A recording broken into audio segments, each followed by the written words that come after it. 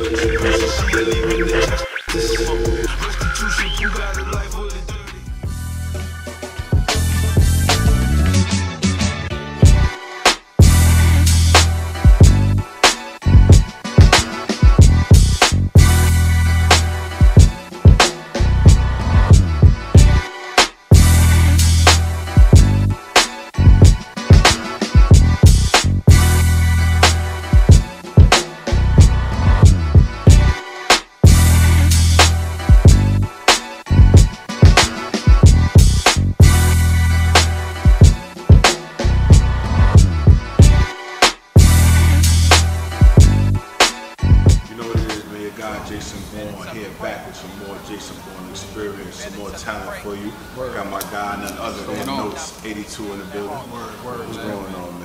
much, man. Nothing much, man. Just living, man. Living, yeah. You, you, you have been living and working, Yes, right? I, yes, I sir. see the grind. I- we, we speak very frequently, so Yeah. I'm in tune with the work. Yep. I want the people to get in tune with the work. So you have the project out, Reflections. Mm-hmm. Reflections, right? yes. Talk, Mhm. talk to us about that. Um, Reflections was kind of like a two-year kind of like process that I that I had going on. Um, at the time when I made Reflections, I was down south. Um, so I was living down south for almost, I want to say five years, Okay. and then all of a sudden, you know, it was kind of like I left music, and it was like ah, I don't want to do music no more. And then, believe it or not, my wife was like, "Man, you don't do music no more. You don't write nothing. You don't do nothing." And at the time, I was going through a lot. My uncle had passed. Um, a lot of things with my brother was going on and stuff like that, personal wise. And I was like, "Yo, I'm gonna drop. I'm gonna drop a project." Funny thing about the name of the project. One day I was in the, in the bathroom and I was just looking at myself in the mirror and was like, "Okay, you know what? Let's call it reflections. People want to know who you are as an artist." I like that. So for me, it was kind of like it was a no-brainer. So that process came.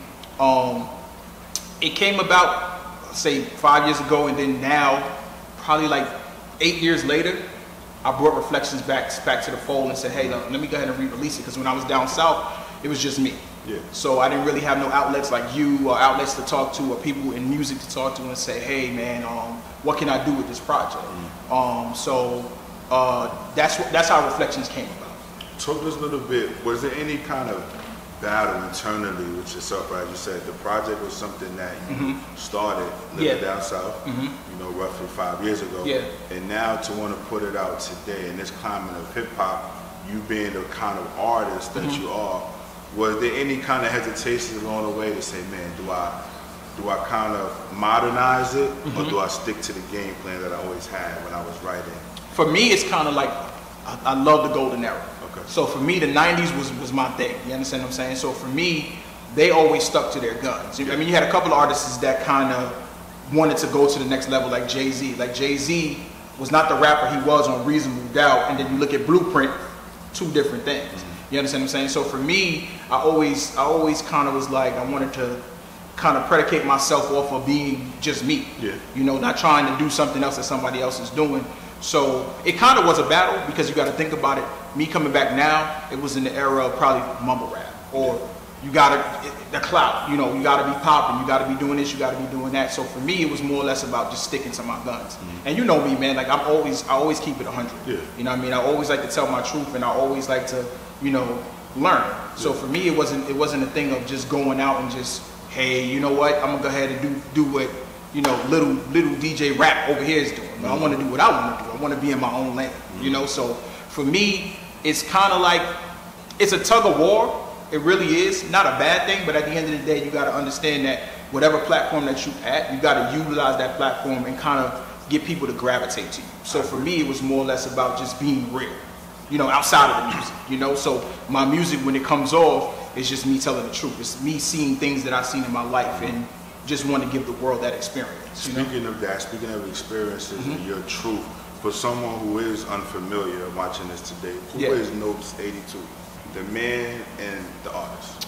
Well, I, I'll give you a little bit of history. So I am I am from from the New York area. Okay. Um, I grew up I grew up in um, East New York, Brooklyn. Um, and a lot of people always, you know, I don't want to tell my truth. But I grew up a, a pastor's kid. You know what I'm saying? Like my father was a was deep in the church. You know what I'm saying? So when we were smaller, me and my older brother, we had to do those things. Yeah. But when we got older, it's like, nah, man, I don't want to do this. And I had friends, and and you know me, man, I always keep it real. I'm not a street dude. Yeah. So I had friends that were in the streets. You understand what I'm saying? They always used to guide me and be like, "Yo, man, you don't want none of this stuff that's in the streets. You don't want that because It's dangerous. it's dangerous. So it's like you don't want to be out there and get caught up doing some stuff. Mm-hmm. So me, it was always kind of like the Nas story. Like Nas was a little bit more in the streets, but with Nas, it kind of was like him seeing things. That's what made Nas. Nas seeing things in the project. So for me, growing up, it was more or less about, man, I like to write. So I used to walk around with notebooks in my hood, right? Write down what I see. Oh shoot, Miss Johnson having, a, you know, somebody robbed Miss Johnson. Somebody shot at this dude. Somebody did that. It was just experience. So me as a man, I'm, I'm, a, I'm a person where I absorb a lot of things. I'm like a sponge. Yeah. You understand what I'm saying? So for me, that's what got me through, you know, being the person that I am, becoming a father. You know what I'm saying? Like seeing the things in the street that happen and like, yo, when I was a father, my, my father was always there for me. So I want to keep the same thing going with my kids. You understand what I'm saying? So for me, that's the type of that's the type of person I am. I'm genuine. You know, you can come to me about anything, you can ask me about anything, but I'm always never the person to say, I don't need no help. If I mm-hmm. need help, I'm going to reach out to you and say, hey, I need help with this.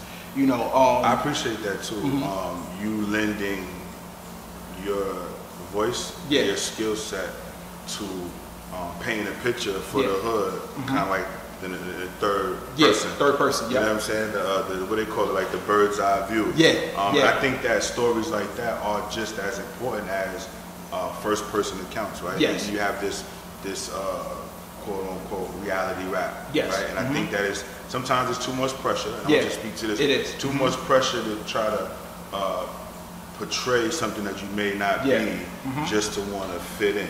Yeah. So as you spoke about being a pastor's, Mhm. you know, son, um, it just you know some of those th- those battles and tribulations. It, that's a story. Yeah. There's someone somewhere who can relate to that. It's not just about somebody who sold drugs or gang bang or you know uh, didn't make the Yeah. NBA. Mhm. Then they went to jail. Now they're trying to redeem themselves. So Exactly. your story is real as well. man. Yes. I, I commend you on Mhm. sharing that, man. Appreciate it. Definitely. So bring us up to um, right now. Reflections is out. Yep, Reflections is out. What's some of the feedback you been getting? What, what are the people feeling? Because that's the most important. Um, right now, like most of the people, they, they love um, my single that I got out now, Suicide, and it kind of resonates into this this this era now because you have a lot of kids that are in this era that they either getting bullied, they want to commit suicide, or they can't handle the pressures of the world, they want to commit suicide. Um, so for me, you know, that's one of the songs that people love. Like it's resonating with a lot of people and stuff like that. Which, in, in fact, I actually got a video actually coming for that Coming coming, out. out soon. Um, people like um, Running Back. Running Back is another one of those laid back in your car feel. You can ride around New York City That's and listen missing. You need that. Yeah, yeah, That- That's the music that people tap into. You Yeah. know, you gotta think about it. We live in an era where everybody's on the go, right? You got your Yeah. phone or you're streaming or Exactly. So if you're able to uh, deliver music that doesn't kind of get us off balance, Yeah. like get us that, that gets you through the day music. Yeah. Right, Yeah, Mr. that's true. that's Yeah, that's true. right? Yeah, like, Gets you yeah. through the day music. I gotta tell you some of the other Yeah. singles people have been liking on on, on Um, another one that I did, which, which I, some of our singles I actually released earlier in the year, and with the anticipation of the album actually coming out. So like Golden Globes, I'm pretty sure you heard of Golden Globes. Golden Definitely. Globes was that right there. That record to me is my favorite record off the album because Golden Globes was kind of like our black Golden Globes. Yes. And it was kind of like my acceptance speech. So it was kind of like if I got, let's say I got put on by a record label and I get up there and I make my speech, I'm giving you my speech. I'm giving you who I actually am. Mm-hmm. You know, because if you look, if you think about the Golden Globes, the award show itself, see a lot of black people actually. So it was kind of like a spin-off. Speak on it. And then for me, it was kind of like the clips that I used. Yeah. So I used some of the people that actually um, talk on the Golden Globes, like um, Michael Keaton.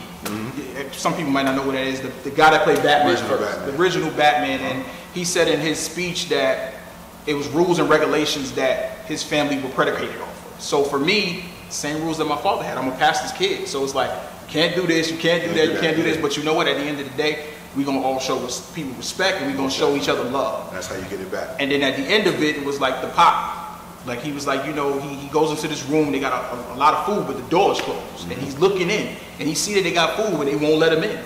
And you know, please let me in. He's like, yeah, we are hungry, please let us in. So it really, it really resonated with me to use Pac at the end of that because it was my acceptance speech, but it was more or less like, I know I'm not on, but you know what? I'm gonna keep knocking on that door, and I'm gonna keep knocking. and I'm gonna keep knocking. Talk to us about the inspiration behind, um, you know, your marketing plan. As you said, you were very, you were very consistent, Yeah. um, and poignant in the way that you were releasing content and material from the top of the year all the way through now. Yeah. Um, and I like how you were you were touching a lot of elements of hip hop, right? You had like notes corner, you had the culture, Culture corner, corner, yeah. things going on. So talk about that, right? Because Yeah. because I feel like that was you displaying your love for hip hop Yeah. and and warming us up to the angle that you were coming with the music. Yeah. You know what I'm saying? So Yeah. it's marketing right there. People Yeah. don't understand what marketing is. Like Yeah. you did that very well. So talk to us about that. So for me, like I have I have a um a sister that's you know she's kind of close to me, and I knew her growing up and stuff like that. So before I actually came to the forefront to actually do the marketing plan I had, I had to sit down with her, and I ran it by her, and she was like, I think that's dope. Yeah. So for me, she's like, you love hip hop. So when I when I thought about the Notes Culture Corner. It kind of took a while, like so. You, JB, if you seen it when I was on there, kind of was like I didn't have no pictures to it, but I was like, let me see what people think about DJ Kool Herc. it evolved. That's yeah, it thing. evolved. So it was like I want people to understand that it, it- to do music, and, and nowadays everybody does music. I get that. But for me, coming No, up I in the yeah, coming coming up in the era that I come up in, it's kind of like back then, a lot of stuff wasn't tolerated. So you had to be nice. Mm-hmm. Oh, yeah. You was gonna walk into that. You was gonna walk into that room and Say it again. You had to be nice. you had to be nice. And if you wasn't nice, they was gonna let you know straight up. Because nowadays, I think they just sugarcoat it. Yeah, man, he good, he good. Nah, man, it- it's, it's not good. So for me, my marketing plan came from let me kind of get everybody interested in hip hop. Yeah. And it's still that way. Like I stopped doing the culture corner because I kind of got into the mode of the artist thing. Yeah. But the culture corner was to give you a history lesson. You know, I talked about LL Cool J, I talked about Queen Latifah, I talked about um, Kool G Rap. A lot of people didn't, and a lot of people would hit me in the inbox and who Kool G Rap? Oh, but God. you rapping? Like you rapping though. Delete your page, whoever you are. So I mean, it was kind of like kind of like that. So my marketing plan came from that.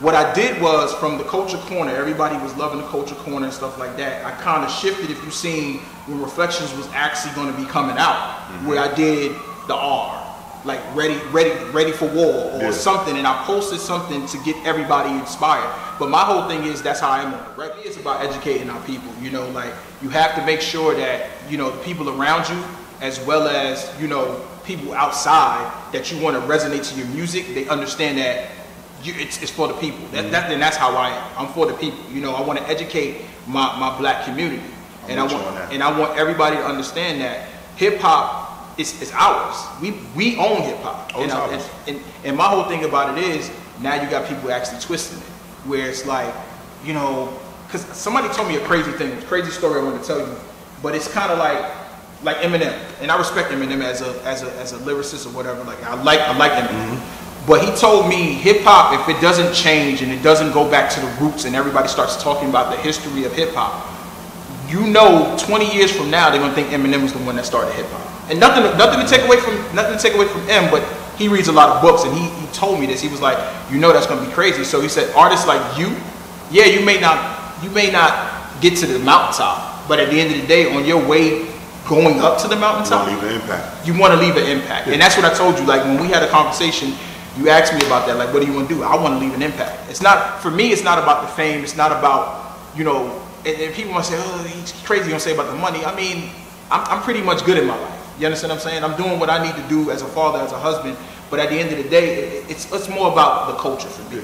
And if people kind of understand that, the culture would be a little bit more better than what it is now.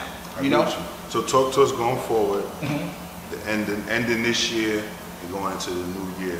What are some of the things we could look for from Notes 82? Well, definitely, I know for me, it's more visual. So I definitely want to get my face out there. I want people to know who I am. So the suicide video, that's coming soon. Um, I definitely want to do a video for Running Back, and I definitely want to do a video for another one of my songs, Book Bag. But 2020, man, 2020 is going to be is going to be classic because if you think about it, Reflections is not an album that I worked on this year. That was an album that I worked on. I re-released it. But I'm gonna say it here, man. I got another album that I'm working on next year. Exclusive, Um, exclusive, it's, exclusive. it's exclusive. Um, I do got the title. I'm gonna get that too, man. Like it's called it's called Watch the View. Um, Watch the view. Watch the View. So it's it's definitely different from Reflections, and it's more or less like it was inspired by Kanye West's College Dropout. So I mean, in, in, in this era, a lot of people are scared to take chances, but it's gonna have 21 tracks on it. I'm already working on it. So 21? 21. Okay. 21. I respect it. Shoot, I believe people shooting their shot. Yeah. People say, hey, you got to stay within the five to seven, no more than ten.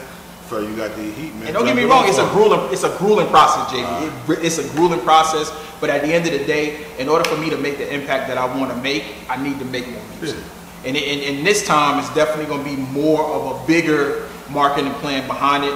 Um, It's definitely about making more music. That Definitely. discography, that discography part of me has to be healthy, Yes. and substantial. Yep. To compete, right? Yep. You're, you're, you're, in hip hop. You're in the fold of hip hop, so you gotta go in on them. Yep. Yep. You know what it is, man. My guy, I know say Yep. too, man. I appreciate you for stopping by. Appreciate you, man. Jason Bourne, the Jason Bourne Experience, powered by the Antidote, man. My guy Molay Magwood on the cannon. I would do laps like magazines on the block. We out. Restitution, who got a life with a